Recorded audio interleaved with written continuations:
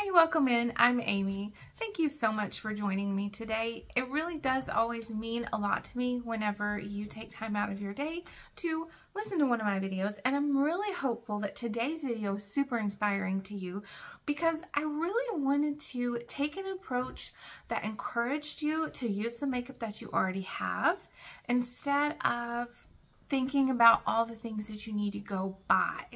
So I did a get ready with me style video featuring this look, although it's the end of the day. I forgot to record my intro. And this look is featured in this video as a no brand tutorial. So throughout the video, I'm describing these products to you in hopes that it will encourage you to take a look to see if you can find something similar in texture, similar in formula, similar in consistency instead of thinking, ooh, I need to go buy that particular new foundation, I bet you already have a foundation that's super similar. I love talking about all things project panning and encouraging you to be a mindful consumer and to use the makeup that you already have or pass it along if you don't like it. Don't keep things you don't like. So if you like that kind of beauty content, I'd love for you to consider subscribing. Let's go back in time to the beginning of the day and a fresh-faced me. So I got this idea of doing a no brand tutorial as a way to kind of promote using what you have instead of continuing to always go out and buy, buy, buy new things. So in me describing the products that I'm using today, instead of telling you what it is, which I will have listed in the description box below as a cheat sheet, but as I'm going through, just just know that you probably already have something like what I am using and take that approach anytime that you're watching beauty content because the chances are that you have something similar already. That new foundation is not going to change your life it's not going to make you look that snatched or that gorgeous. It's really not. I bet you have something else that you can use instead of spending money on something new. Right now, what I just put on was a pore filling primer that I am trying to use up. And I used it in combination with this foundation that I'm going to put on yesterday. And it really looked very nice. And in the spirit of the video of not buying anything new, instead of wearing my headbands that my daughter has been wearing when she puts on her makeup, and it's super dirty and it's not very aesthetically pleasing for a thumbnail or whatever, I decided to put this on. So sometime today or sometime this week, I'll get her to kind of try to clean that off and that will save me from having to go buy another one because that one's totally fine. It's just dirty. My next step is going to be to use this foundation that I have. This is my second or third bottle of this foundation in my lifetime since its creation. And this foundation is a medium to full coverage foundation that is easily buildable, but I don't usually build it up too much to where it's like, you know, majorly full coverage. I really like this foundation because it's a pretty good shade match for me right now and it is very affordable. This foundation costs, used to cost $5, but now it costs $6. So this is a drugstore foundation that, again, has a really great coverage really nice finish on my skin. It leaves my skin feeling slightly tacky, but not like not too much. And it leaves a nice slight glow, like nothing nothing too like overly shiny because I do have a lot of hydrating things as my skincare underneath. However, my skin still looks pretty nice and I will probably set it just a little bit and for me, I'm someone that kind of likes to use, I'm showing you these, so I'm kind of like to use a brush and a sponge, especially with this one. I find that really kind of helps to continue to press it into my skin and help it to become one with my skin. So the next step that we're going to go into is concealer. I try to not fault any kind of concealer with its efficacy based on my under eyes, which have dark circles and bags. I have a lot of discoloration on my eyelids and I have some pretty deep caverns right here at my nose. So I know that concealers can only do so much and I, I give them all sort of a sliding scale kind of thing. This concealer that I am using though is one that is more expensive. So my makeup collection is really starting to kind of evolve from prestige makeup that are luxury, not luxury, prestige makeup that I've gotten on sale or with Ulta points to a combination of those kinds of products and also drugstore products. I've really been enjoying that this year of uh, finding things that I like at the drugstore and kind of proving to myself that drugstore makeup really can be just that good. Especially makeup that I'm finding at the Dollar Tree. the Dollar Tree has this brand called Ioni and that stuff is always so, so good. So, so good. Okay, so this concealer that I use is a pretty medium to full coverage concealer it does a really good job of not getting too deep into my fine lines. So it doesn't like sink into my fine lines a whole, whole lot. And it does a really good job of like getting into those caverns and just kind of brightening those up. And I can show you a little trick that I do later on after I have my eye makeup I'll show you a little trick that I do sometimes when those caverns are like really, really dark. That concealer is really nice for someone like me who has a lot of lines and, um, you know, discoloration and bumps and grooves and valleys within my eye socket area because it's covering but it's not super heavy. So that is something that if you are my age or not, and you do have a lot of similar characteristics of your eye sockets, then I would definitely say look for something like that. Look for something that's medium to full coverage, but lightweight in its texture. In an effort to show you something that I'm really liking from the Dollar Tree. So I will tell you that it comes from the Dollar Tree. This bronzer looks super scary in the pan because it's super, super dark. But it doesn't apply super dark when you're actually putting it on. I know that that looks really dark, but in real life, it doesn't. Like when I'm looking here in my mirror, it doesn't look that dark. So you're seeing something a little extra the thing, one of the things that I like about this, besides the price, is that it has a little bit of a red tint to it. And I like that in a bronzer because that's what my skin, as the one who's like kind of, I'm very pale, um, that's what my skin does when I get out in the sun. So it's not a contour at all. It is a bronzing step for me that will help me to be able to um, look like I have a little bit of color to my skin. This is also nice and blendable. Even though it's very, very pigmented, it's nice and blendable. So very smooth and will, will, you know, create that look that you're wanting. If you are someone that puts bronzer on, it will create that look that you're wanting for a super cheap price. So this is another one of those examples of things that I have been so excited to find at the drugstore. I'm going to do my eyebrows off camera and then I'm going to talk to you about what I'm using. And I'm going to do it off camera because you're going to be able to obviously see what I'm using. I wanted to do my brows first because I'm not exactly sure what I'm going to do with my eyes. So I want to wait to put my blush on. For my eyebrows, I used two different products one that's affordable and one that can be found at a store that's usually not super affordable. So the eyebrow pencil that I used is something that I've had for probably two years now and it's still going. I'm almost finished with it. I'm hoping that I'll finish it this year, but I honestly really don't know.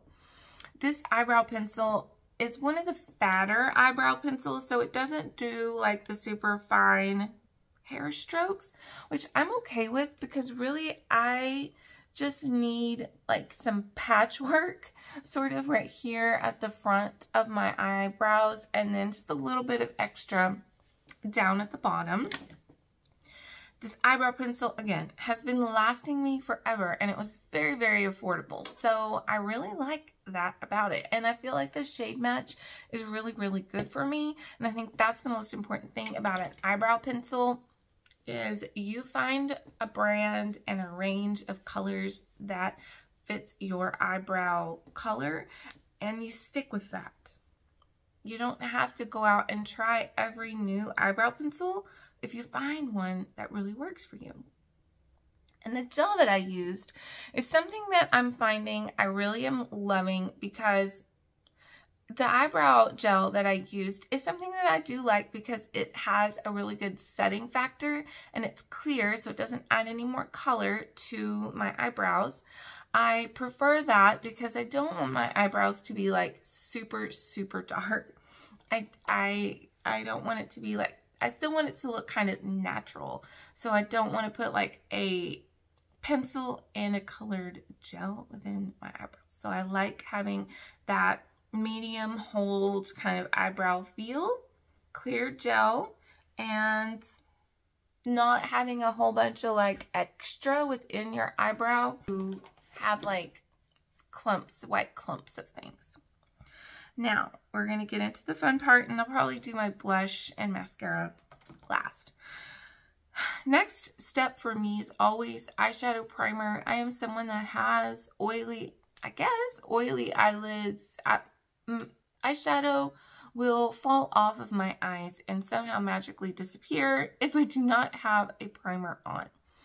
And the eyeshadow primer that I find is the most reliable, the most affordable. I can really count on it to work with a wide variety of eyeshadows from the cheapest to the most expensive that I have and it is really, really good. The only thing that I would change about it is maybe that if it had a little bit of more coverage, because I'm someone, again, that has a lot of color on my eyelids, it would be nice if it also had a little bit of coverage too, but it does not, and I come back to it time and time again for a reason, because it's just that good.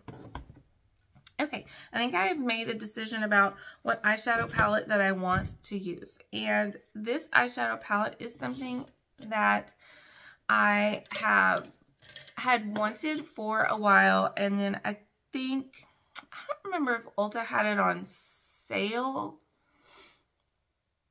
or it was like a whole bunch of points. So that's generally my strategy, my purchasing strategy at Ulta. If I've been wanting this certain product for a while and it comes on sale or that brand has like five to ten times the points or you get like an, a really cool gift with purchase kind of situation, then generally I will um, take advantage of that and get my more expensive eyeshadow palettes in that in that way. And so that's how I accumulate my nicer things. So so this is something that I did get this year, and it is one of those situations. That was a really long story for me to just tell you that. I don't know why I'm talking so much. I haven't had my coffee yet this morning. Ah. I really love this eyeshadow palette because, and it's something that I wouldn't normally go for because it's cool toned. But as you see today, I'm wearing like a gray shirt. So so part of me wants to wear not, not warm tones that I would normally gravitate towards. But this eyeshadow palette has such a really unique color story because it's, uh, one could say plain and, and boring, but I like plain and boring. I know that that's what fits me and I'm okay with that. I'm experimenting with color in ways that make me feel motivated, inspired, but also still comfortable and it'll still feel like me.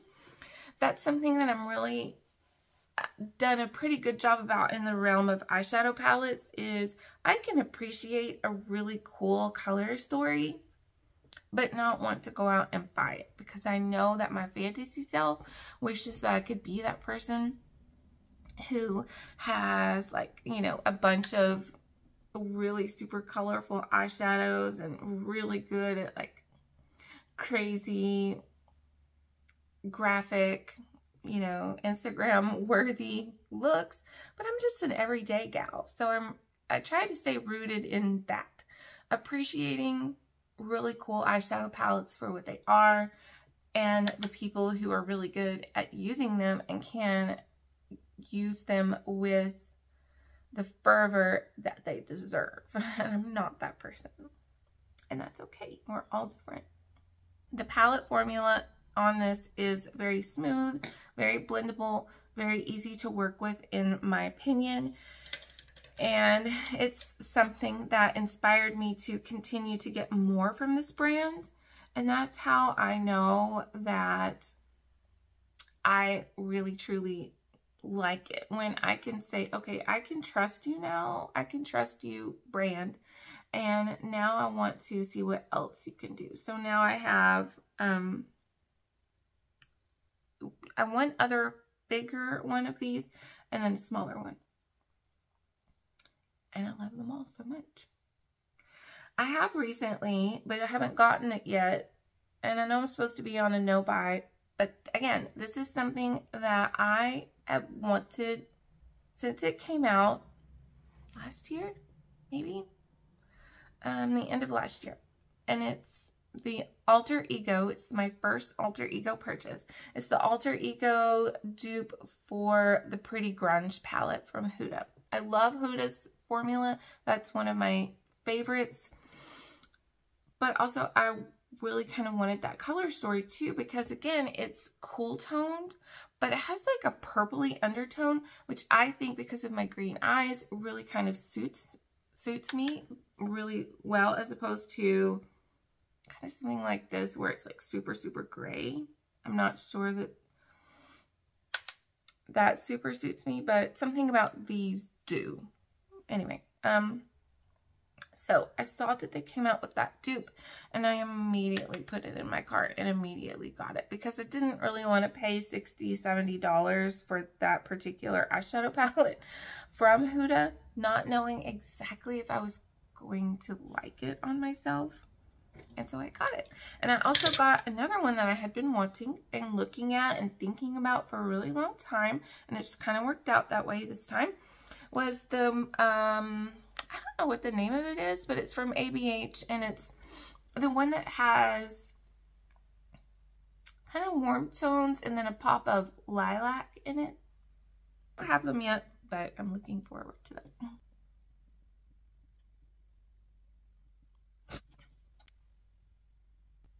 Wow. so this is already like, I feel like super sparkly and very, very nice. The glitters within this particular eyeshadow palette are really fine and very good. But then I put this other one that kind of has a pink glitter on it and look at the difference in that. Look at the difference. That's just crazy. Now I'm going to be a sparkly goddess for all of my classes today because I teach online. Oh, look at me. Maybe so sparkly. I may put on a little bit of eyeliner to go along with this. And I'm just going to use an eyeliner pencil that is very, very smooth. Man, for somebody like me that's not good at eyeliner, I need an eyeliner pencil that's very smooth, very easy to work with. If I want to smudge it out, then I can. I need that. When I'm watching content creators and beauty influencers, I am always paying attention to that part. When they describe the eyeliners, does it sound like something that would really like hit with me? Okay, let me show you the thing that I like to do to kind of brighten up my inner eye a little bit more and even like the inner corner. Okay. I take a high, uh, it's a brow, brow highlighter and I place it just kind of around my tear duct and I will even drag it up like that part. And I know that's not super precise, but then what you do is you uh, just kind of press it in a little bit. And I feel like that that just kind of adds a little brightness. If you're someone, if you're up close to me, then then you'll be able to probably see it a little better than uh, farther away. It just kind of makes me feel a little more confident, especially when I'm using some gray tones. And I'm already like gray all in that area anyway. So let's go for blush. I want to use, I know exactly what blush I want to use with this look. And so this is one of my favorites. It is a really unique color. And I love blush a lot.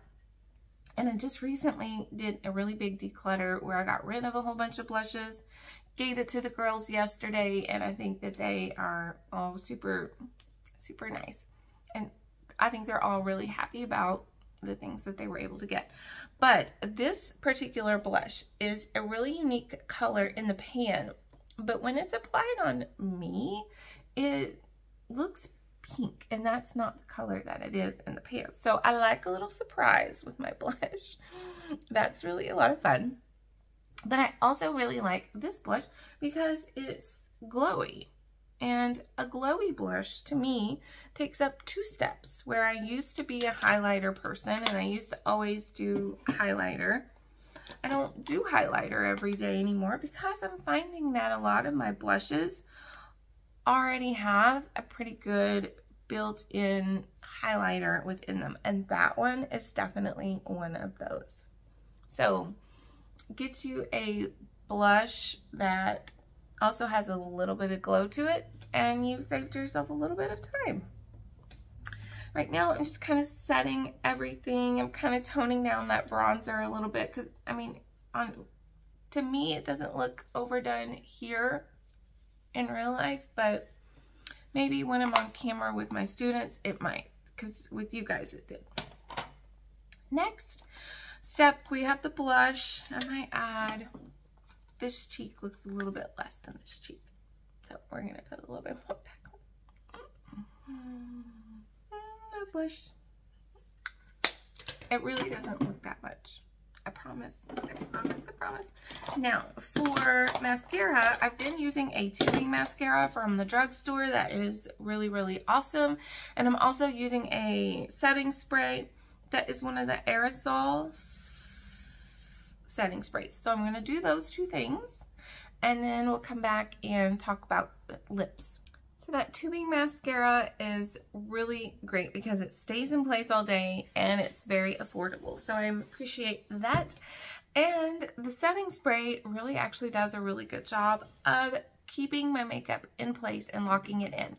I work from home at a computer and I'm always touching my face. And for the most part, at the end of the day, my makeup is usually looking pretty good with using that setting spray. Now, I'm not I will put on, I guess I will put on a little bit of lipstick right now for you guys, but I still need to eat breakfast and brush my teeth. So it won't stay on very long. I, oh, I was going to show it to you and I'm not going to. Um, so there's two things that I'm thinking about going with, and one of them is sort of a matte, powdery type lip balm type situation. Okay, so this is it. And I really like the color on it. I feel like on something like what I'm wearing today, it kind of goes with the vibe a little bit.